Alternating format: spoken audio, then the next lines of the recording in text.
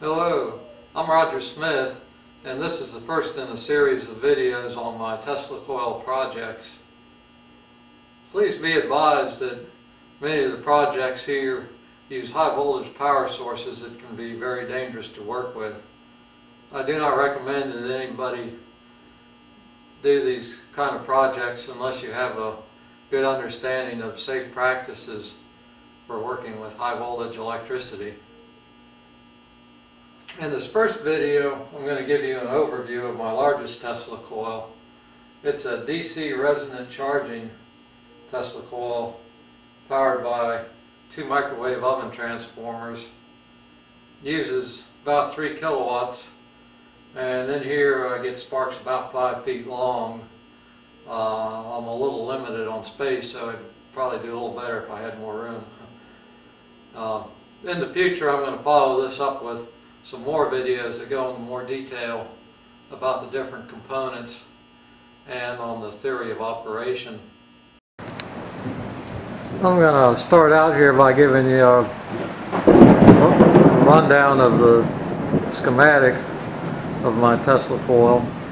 Uh, sorry about the lightning and thunder in the background, but I guess it is appropriate for the mad scientist experiments. Uh, yeah, we'll, later on we'll we'll run the coil with the with the thunder going, and maybe that'll add to the effect. Uh, start out here, we got the two microwave oven transformers hooked in series.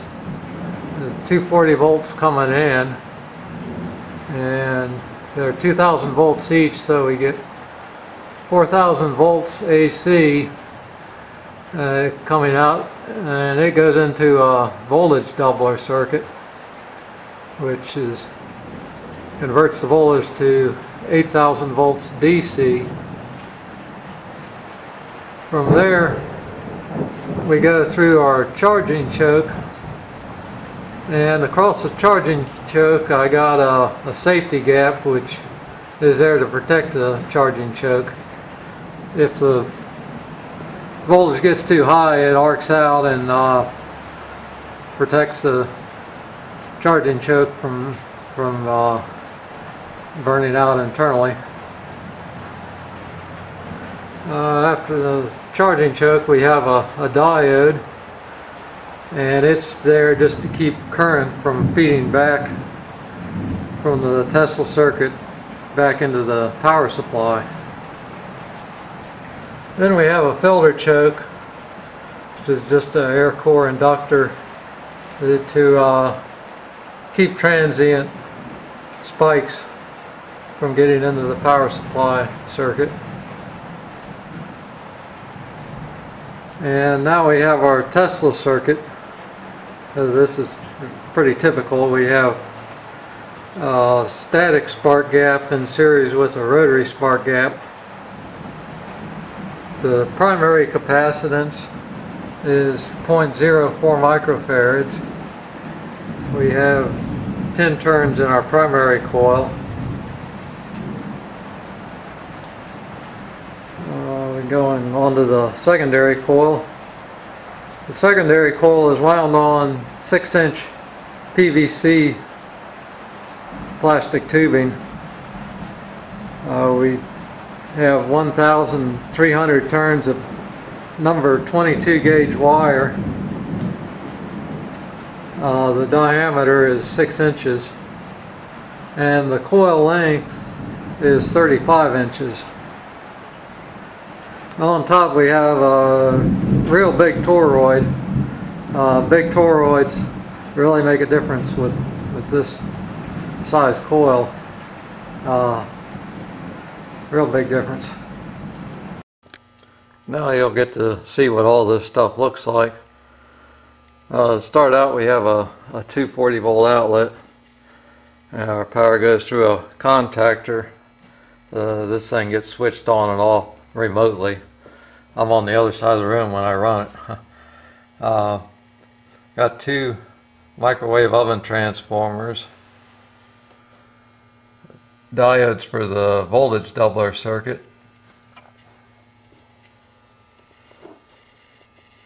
Capacitors. And I got bleeder resistors across the capacitors to drain the charge off.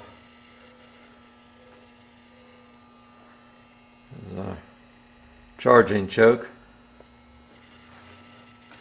with the safety gap. And there's the diode tubes. Uh, there's four of them in parallel. And I got a converted microwave oven transformer being used as a filament transformer with six turns of coax cable. Uh, it's insulated real well so that insulates this thing from ground.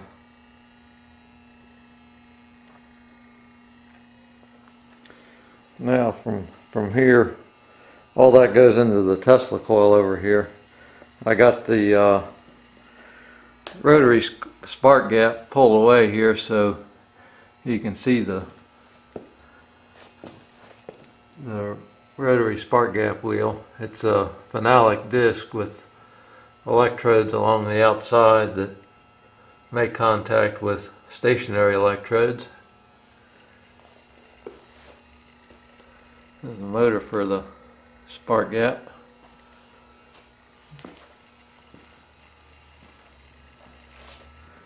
This is a primary capacitors.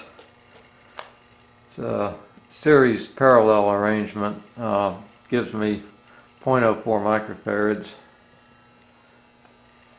The 3 8 copper tubing for the primary. Uh, tapped at 10 turns. And secondary, which is wound on a 6 inch PVC uh, tube, uh, 35 inch winding length, uh, wound with number 22 gauge wire uh, for 1,300 turns. And there's a toroid made out of window screen. And there's the uh, the static spark gap, uh, copper cylinders, uh, closely spaced. Okay, and now what you all have been waiting for, I'm going to fire this Tesla baby up here and uh, we'll get to run it. Uh, you can see the sparks and the arcs. So enjoy.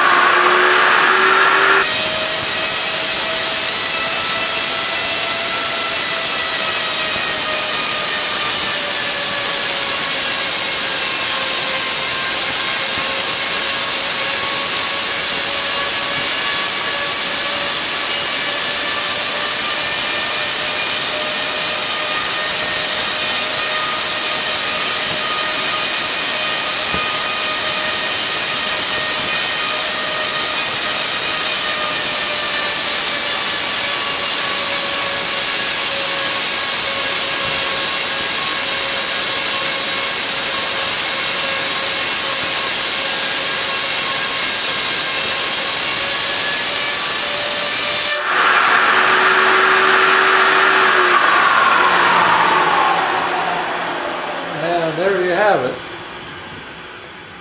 Uh, yeah, thanks for watching.